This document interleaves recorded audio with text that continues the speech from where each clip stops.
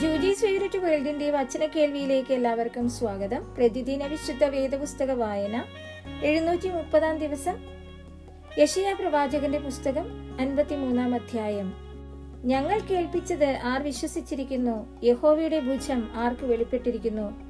അവൻ ഇളയ തൈ പോലെയും വരണ്ട നിലത്തു നിന്ന് വേർ മുളക്കുന്നത് പോലെയും അവന്റെ മുൻപാകെ വളരും. അവന് രൂപഗുണം ഇല്ല കോമളത്വം ഇല്ല. കണ്ടാൽ ആഗ്രഹിക്കത്തക്ക സൗന്ദര്യവും ഇല്ല. അവൻ മനുഷ്യരാൽ നിന്ദിക്കപ്പെട്ടും ത്യജിക്കപ്പെട്ടും വ്യസനപാത്രമായും രോഗം ശീലിച്ചവനായും ഇരുന്നു. അവനെ കാണുന്നവർ മുഖം മറച്ചു കളയത്തക്കവണ്ണം അവൻ നിന്ദിതനായിരുന്നു. നാം അവനെ ആദരിച്ചതുമില്ല. സാക്ഷാൽ നമ്മുടെ രോഗങ്ങളെ അവൻ വഹിച്ചു. നമ്മുടെ വേദനകളെ അവൻ ചുമന്നു.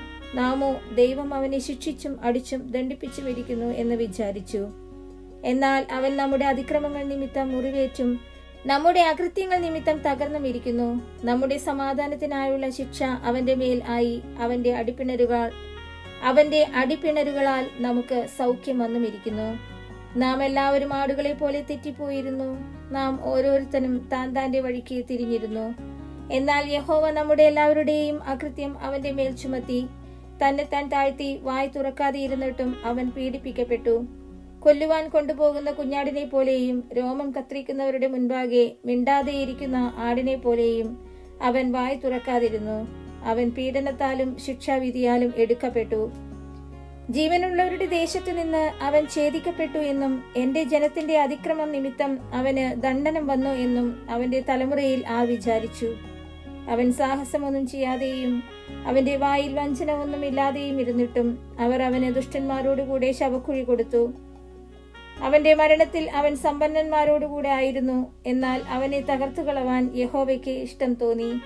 അവൻ അവന് കഷ്ടം വരുത്തി അവന്റെ പ്രാണൻ ഒരു അകൃത്യയാഗമായി തീർന്നിട്ട് അവൻ സന്തതിയെ കാണുകയും ദീർഘായുസ് പ്രാപിക്കുകയും യഹോവയുടെ ഇഷ്ടം അവന്റെ കൈയാൽ സാധിക്കുകയും ചെയ്യും.